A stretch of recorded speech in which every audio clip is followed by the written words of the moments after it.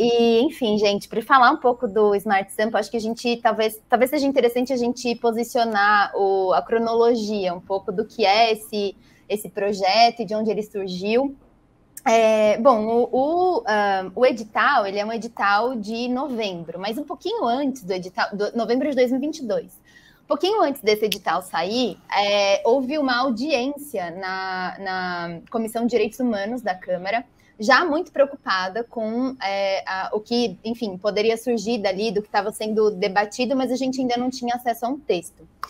E, e, aí, Luan, inclusive, teve por lá, pode fazer alguns comentários específicos. É, mas, enfim, sai do edital, a gente, e é importante a gente fazer também essa menção, é, nós fazemos parte de uma campanha que se chama Tire Meu Rosto da Sua Mira. Ela é uma campanha integrada por uma série de entidades, movimentos, e, e é uma, uma campanha que a Coalizão Direitos na Rede, que também é uma rede que Lapin e DEC compõem, é, também faz parte. Então, essa, enfim, essa campanha se manifestou é, sobre o edital, basicamente, né, e, sobre as, as, as é, inadequações. A gente pode aqui fazer um apanhado dessas inadequações. E a gente também conseguiu falar com a Secretaria Municipal de Segurança Urbana lá em dezembro, expusemos algumas preocupações, algumas delas também relativas ao reconhecimento facial. E a gente não, enfim, não teve um retorno sensível da Secretaria Municipal de Segurança Urbana naquele momento. E aí, um dos pontos que eu acho bem importante de, de a gente salientar, porque a gente também não tem acesso ao que seja o processo que dá início ao edital, o processo que origina, o processo administrativo que contém os detalhes desse edital, ele hoje está reservado. E Tudo aí tem... nebuloso, assim.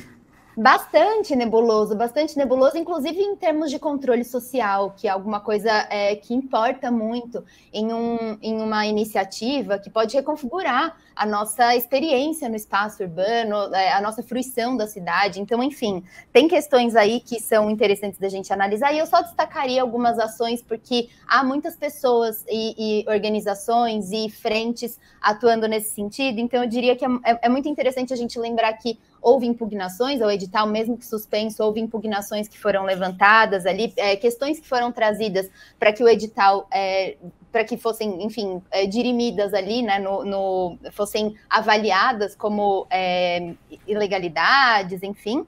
E há uma, um trabalho muito interessante da, da Frente Parlamentar aqui em São Paulo, de é, é, vereadores como a vereadora Luana, a vereadora Érica, que agora é deputada federal, o vereador Suplicy, deputado estadual agora, Daniel Annenberg, Celso Janazzi, Elaine Mineiro, um deputado estadual, Maurici, é, é, tem, tem, atuado. Então, a gente, em diálogo com, com muitas, é, com Defensoria Pública e da Equilapim, levaram é, um, a questão para o Ministério Público. Então, acho que é legal a gente é, elencar que tem uma série de entidades e pessoas preocupadas com essas questões. E, e, e enfim, destacar que é, a gente pode agora talvez entrar nos, nas inadequações do edital e fazer aqui um, é, de repente, uma lista de problemas. Não sei o que, que você acha, Luan. Posso começar aqui. é, eu sempre gosto de falar que, enfim, deixa eu me apresentar, né? Meu nome é Luan Cruz, eu, enfim, sou pesquisador do IDEC, que é o Instituto Brasileiro de Defesa do Consumidor, que também constrói a campanha Tire Meu Rosto da Sua Mira e faz parte da coalizão Direitos na Rede. É, eu acho que vale mencionar que eu não sou de São Paulo, mas a primeira coisa que todo mundo comenta é o nome do projeto, que é Smart Sampa, que primeiro não é smart, não é nem um pouco inteligente, e ninguém em São Paulo se refere a São Paulo como Sampa. Então são dois. Eu acho que o problema começa aí, assim. E aí a gente vai agora para os problemas de fato práticos e praticamente ilícitos, né? Assim, a gente concorda, a gente entende que, que tem várias ilicitudes no, no processo todo, começando desde a falta de participação social. A gente só conseguiu se manifestar publicamente é, em relação ao edital, como a Raquel comentou, foi numa audiência pública puxada pela Comissão de Direitos Humanos da, da, da Câmara de Vereadores de São Paulo. A gente não foi convidado é, pela Secretaria Municipal de Segurança Urbana para ter esse debate. Inclusive, houve uma, uma audiência pública, audiência pública não, vou dizer que foi um encontro, é, que foi feito num, numa conversa de, de Teams, sabe, uma, uma, chamada de vídeo que não ficou gravada, assim, ficou gravada, mas ela não foi disponibilizada.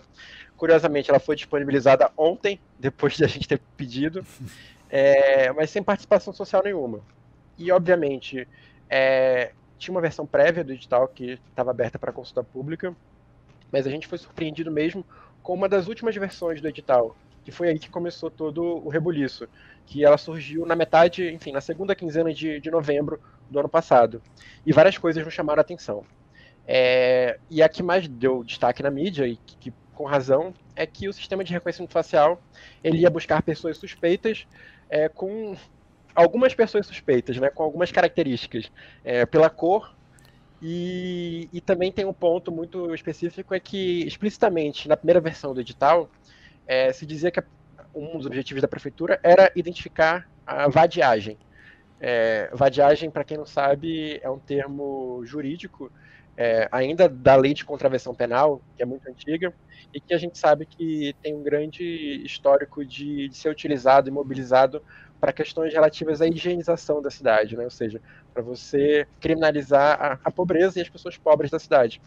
E vindo isso de um momento em que a cidade de São Paulo encontra-se é, com a população de rua, enfim, que aumentou exponencialmente depois da pandemia, é, me parece muito incoerente que a prefeitura queira criminalizar ainda mais essas pessoas em situação de vulnerabilidade. Mas esse é só um ponto do, do edital que é problemático. Assim, Isso é só é uma da, dos é tentáculos. Só manchete, é só manchete que deu destaque, né? Porque além do reconhecimento facial, que vão ser 20 mil câmeras planejadas a serem instaladas na cidade, é, tem um custo. Assim, o custo é de 70 milhões, assim, mais ou menos 70 milhões por ano, que se for levado a cabo, assim, o, o tempo de projeto planejado, se você for somando tudo, vai bater na casa de quase um bilhão de reais. E aí tem um outro problema é, que eu acho importante ressaltar, que e aí a gente fala de segurança pública e militarização. Reconhecimento facial não resolve os problemas que ele diz enfrentar. É, ele não resolve o problema da criminalidade, ele não resolve o problema de encontrar pessoas desaparecidas, é, ele não resolve uma série de outros problemas. E aí, como é que eu sei disso? É, eu sei disso porque existem várias pesquisas, tanto no Brasil quanto lá fora, que dizem que essas tecnologias não funcionam. E elas não funcionam de diversas maneiras. Tem essa parte da criminalidade, e aqui eu trago dados do Rio de Janeiro, que implementou um projeto piloto em duas fases. E nas duas fases do projeto piloto, nas áreas em que ele foi instalado, que as câmeras de reconhecimento facial foram instaladas, não houve redução da criminalidade, de crimes, enfim, crimes médios, enfim, leves e graves, enfim, desde furtos a homicídios. Inclusive teve um índice, eu não vou lembrar agora qual foi o crime específico, que inclusive até aumentou é, de um tempo para o outro. E tem um outro problema que ela não funciona sequer reduzindo a criminalidade e sequer, enfim, nenhuma pessoa desaparecida foi encontrada. É, isso acontece porque tem um outro problema da, do sistema de reconhecimento facial, que é que o sistema de, o sistema de reconhecimento facial ele é falho por natureza. Ele não é 100% qualquer so o melhor software do mercado não é 100%. E ele erra. É, e ele erra especificamente com pessoas negras e pessoas e mulheres e pessoas LGBTQIA+. Porque, enfim, é, esses sistemas são criados por pessoas brancas, cis, héteros, que não se atentam a essas questões na hora de desenvolver o sistema e de vender também. E então, alimentado que... por pessoas brancas, né? Isso tudo. É. é um ciclo infinito. E aí, qual é o problema disso, né? É, eu vi que no, no, na chamada da live tinha lá enquadro virtual, né? Só que o problema é que não é virtual, o problema é o enquadro não é virtual. Porque quando a câmera erra, e, por exemplo, destaca uma pessoa e o sistema aponta, ó, essa pessoa aqui é uma pessoa foragida pelo crime X. E às vezes é destacado um policial militar ou algum agente de força pública para ir atrás dessa pessoa na rua é, a polícia militar não chega com, com a melhor das intenções. E isso a gente sabe também porque existem casos de abordagem extremamente violentos é, no Brasil é, por esses alertas de reconhecimento facial. E até você provar que não é você, que é aquela pessoa que está sendo procurada porque a câmera errou e o sistema errou, é, tem um, todo um transtorno. Inclusive tem pessoas que ficaram presas é, foram presas, detidas, ficaram na prisão por, enfim, dias até ela explicar e até se descobrir que aquela pessoa não era aquela outra que estava sendo procurada. Então a gente, o enquadro não é virtual, não, o enquadro é real. É, a gente real, um concreto e traumático. e traumático. traumático. Então assim, a, o sistema não funciona não, ele não reduz a criminalidade, porque a gente tem dados que ele não reduz a criminalidade, e ele ainda é danoso para uma certa parcela da população. E danoso nessa questão da abordagem. A gente tem esses dois, tem dois casos que eu acho que são emblemáticos, um no Rio de Janeiro e um na Bahia, que eu gosto muito de frisar sempre que a gente fala desse assunto. O primeiro é, no Rio de Janeiro, segundo dia desse projeto piloto que eu comentei com você, uma mulher favelada, nordestina, foi é, detida pela polícia porque ela foi confundida, o sistema confundiu ela com uma pessoa que estava sendo buscada por homicídio. Ela estava trabalhando, foi levada, enfim, apresentou documentação e depois se descobriu que primeiro não era pessoa, né? Não era ela, a pessoa procurada, e a pessoa procurada já estava presa há dois anos. Ou seja, a base de dados da polícia também estava desatualizada. E a polícia sabia. Só que, como era a única base de dados que eles tinham, eles estavam num projeto de testes, testaram a si mesmo. Então a gente meio que vira cobaia desses sistemas que são falhos e são muito ruins e que são vendidos como smart ou inteligentes. E um outro segundo caso que eu acho também que é muito relevante e muito, enfim, problemático, foi no caso na Bahia, em que uma mãe levou seu filho para o dentista e o filho tinha, enfim, é uma deficiência mental. É, saindo de lá, foi numa padaria e chegaram mais de oito policiais com a arma apontada na cabeça desse menor de idade, era menor de idade. E até a mãe entendeu o que estava acontecendo naquilo tudo. E ela explica isso num relato que foi publicado na mídia, é, de forma anônima, obviamente, né, porque você não quer é, bater de frente com as forças de segurança.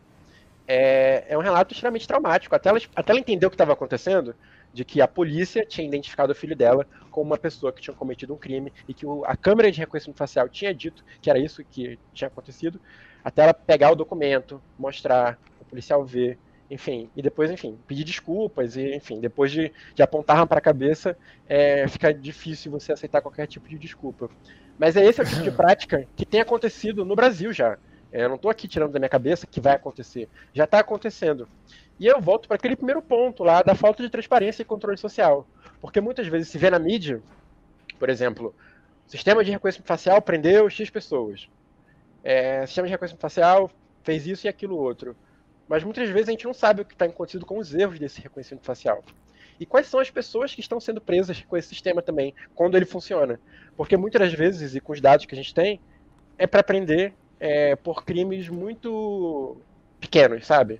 É, pequenas e coisas. Tem, hum. é, desculpa te interromper, Luan, lá, mas aqui. tem o conceito de racismo algorítmico também, que acho que vai nessa, nessa linha que você que você está falando, né? Então, se você quiser explicar esse termo, muito usado agora, né? A partir de agora com reconhecimento facial. Sim. O racismo algorítmico ele, conhece, ele se manifesta de diversas formas, né? Enfim, e a gente tem no Brasil muitas pessoas que, que estudam esse tema, inclusive eu acho que vale a pena comentar. É, tem um pesquisador da UFBC, inclusive, o Tarcísio Silva, ele tem uma linha do tempo do racismo algorítmico, que ele meio que cataloga todos os casos que têm acontecido nos últimos anos de racismo algorítmico. Se manifesta muito no reconhecimento facial, como eu te disse, né? O algoritmo não consegue identificar bem as pessoas negras, e aí você, o racismo se manifesta dessa maneira. É, mas tem, por exemplo, no caso de conteúdos de pessoas negras nas redes sociais que não viralizam ou que não têm tanto alcance, porque o algoritmo entende que as pessoas querem consumir conteúdos de pessoas brancas. Mas tem, por exemplo, em outros temas muito importantes também, é acesso a crédito, por exemplo. O sistema às vezes vê que você mora no bairro pobre e não vai te dar tanto crédito quanto alguém que tem um CEP de bairro rico.